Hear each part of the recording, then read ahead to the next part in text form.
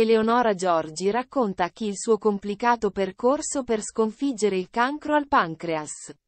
Ammette le difficoltà per il pesante trattamento antitumorale e confessa. Dopo l'inizio della chemio non sono la stessa. No, non sono la stessa. Voi lo sapete che ho un grande senso dell'umorismo. Anche nei momenti più allucinanti della mia vita qualche battuta leggera è stata la mia salvezza. Però mi sono trovata a chiedermi.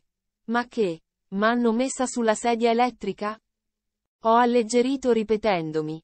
Sarà un esperimento alla Truman Show e lì mi è venuto da ridere pure se mi mancava il fiato, spiega l'attrice.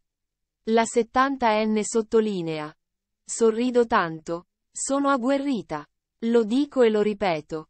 Non voglio che la malattia sia padrona della mia vita. Voglio che tutto il bene continui a entrare. Pure il male. Eh. Insomma. Voglio che ci stia tutto perché questa è la normalità. E, così che voglio incoraggiare tutti i malcapitati come me.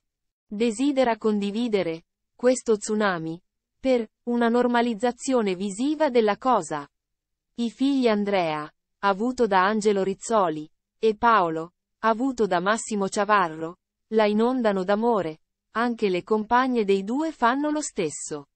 La 70enne poi chiarisce che finora in ospedale era stata pochissimo e pacatamente spiega. Ho 70 anni. La vita l'ho già vissuta. E tanto. Siamo onesti. Una situazione di questo tipo è più accettabile alla mia età che per una persona di 35. Come ne ho viste in ospedale. Per fortuna affronto la chemio con l'obiettivo molto verosimile di fare un intervento chirurgico tra tre mesi. Dopodiché dovrò essere in gamba per mio nipote Gabriele. Io devo portarlo all'asilo. Parla del figlio di Paolo e Clizia in Corvaia. Coppia dal 2020. Il bambino a febbraio compirà due anni. Il nipotino la Giorgi lo definisce un traguardo.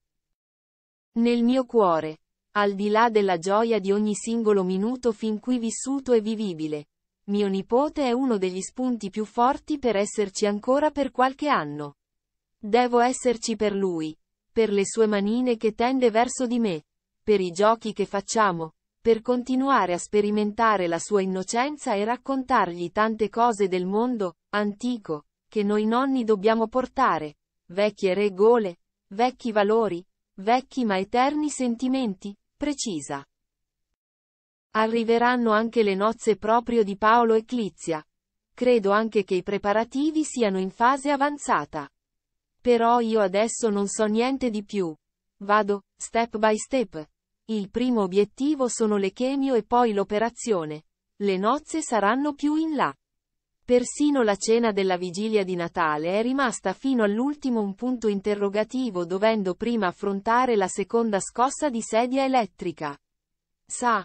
A volte ho paura. Ma Eleonora non si perde d'animo, e così indossa nuovamente il suo elmetto da soldato e riprende a combattere.